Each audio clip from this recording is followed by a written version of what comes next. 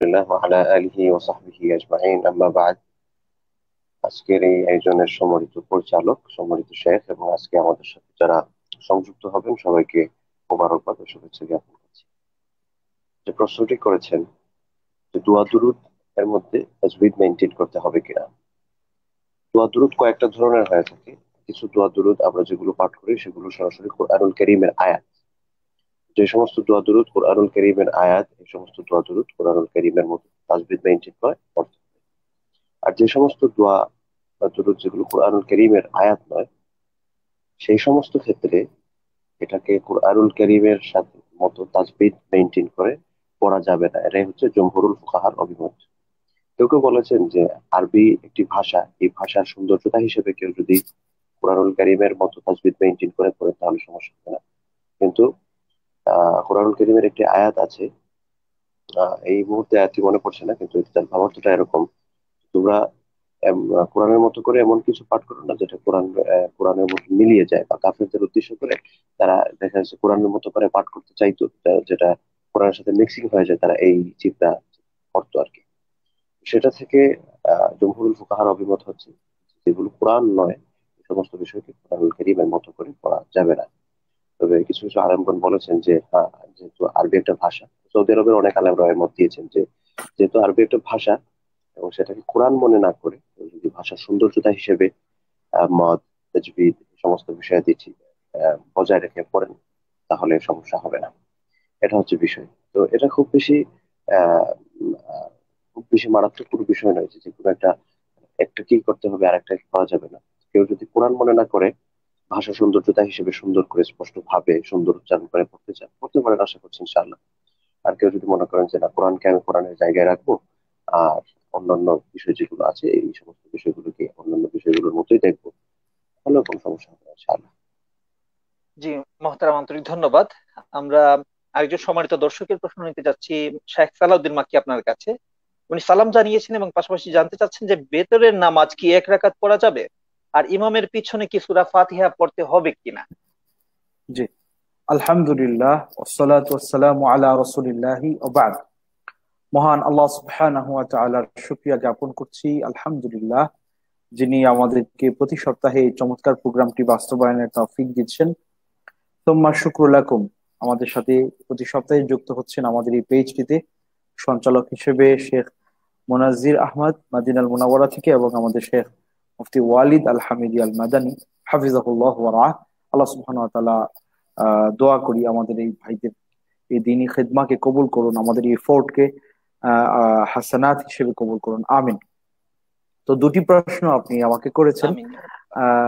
এর শুরুতে আমি শেখ ওয়ালিদ যে উত্তরটা দিয়েছেন সেটার একটু এদাফা বা অ্যাড করছি একটা বিষয়। সেটা হচ্ছে যে যেমন আল্লাহ সুবহানাহু তাআলা কোরআনে বলেছেন যে ওয়ারাত্তিলিল কোরআনা তারতিলা তোমরা কোরআন যখন পাঠ করবে, তখন তারতিলের সাথে পাঠ করবে। অর্থাৎ তারতিলা মানে তাজবিদ সহকারে। হ্যাঁ তো আর দোয়া হচ্ছে একটা কথাবার্তা বা হেওয়ার কথোপকথন। আল্লাহ সুবহানাহু তাআলাকে বলা, তাকে ডাকা, তার কাছে চাওয়া। তো আরবরা সাধারণত তাদের কথাবার্তায় কিন্তু তাজবিদ মেনটেন করে না। মানে কথা তো কথাই।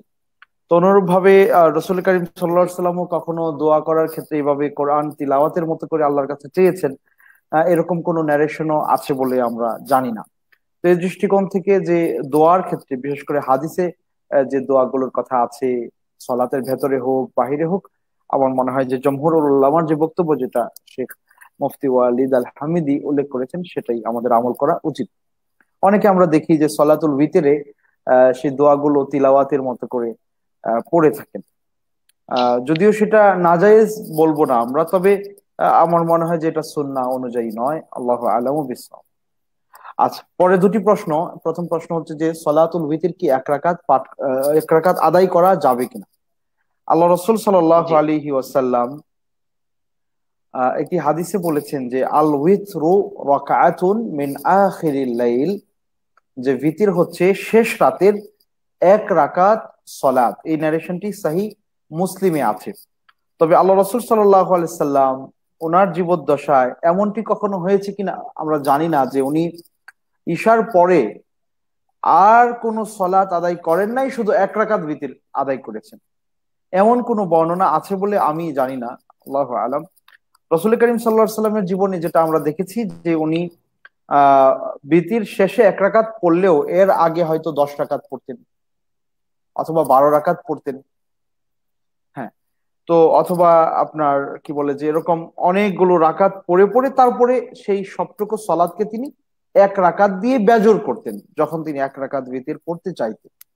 তো এই জন্য এক রাকাত বিতির এটা আসলে মানে এভাবে ঠিক না বলে এভাবে বলা উচিত যে মানে রাতের সলাদ গুলোকে এক রাকাত দিয়ে বেজর করা সুন্না আমরা অনেকে বলি যে এক রাকাত ভিতরও তো কি বলে যে রসুল সাল্লাহ সাল্লাম আদায় করেছেন। হ্যাঁ আদায় করেছেন, কিন্তু এর আগে উনি দুরাকাত দুরাকাত করে সলা অফার করেছেন, এরপরে সামগ্রিক সলাকে এক রাকাত দিয়ে বেজর করেছেন। এটা আরেকটি স্পষ্ট হয় সে হাদিসের দিকে তাকালে, যেখানে আল্লাহ রসুল বলেছেন যে সলাতুল্লাইলি মাসনা মাসনা, রাতের না সলাত দু দু রাকাত করে করে। ফাইদা খাসিয়া আহাদুকুম সুবহা তোমাদের কেউ যখন ফজর হয়ে যাবে, এই ভয় তার ভেতরে আসে যে ফজর হয়তো হয়ে যাচ্ছে হয়ে যাচ্ছে। কারণ তখন তো এরকম আমাদের মতো ঘড়ি ছিল না। টাইম টেবল ওইভাবে ম্যানেজ করা সুযোগ ছিল না। তো আল্লাহ রসুলাম বললেন যে, যখন বোঝা যেত যে ফজর হয়তো হয়ে যাচ্ছে হয়ে যাচ্ছে ফাল ইউসল্লি রকায়াতান তু তিরুলাহু মা কদ তাহলে তখন তিনি এক রাকাত আদায় করে এতক্ষণ যা বললেন এগুলোকে তিনি বেজর করে দিবেন। কারণ ইন আল্লাহ উইথরুন হেব্বুল উইথ আল্লাহ ওয়া বেজর, তিনি বেজর সালাতকে পছন্দ করেন। তো এটা হলো এক রাকাত বিতিরের মর্ম কথা। সুতরাং কেবল এক রাকাত বিতির আদায় করা এটা সুন্নাতে আছে কিনা আমি জানি না, আল্লাহ আলম।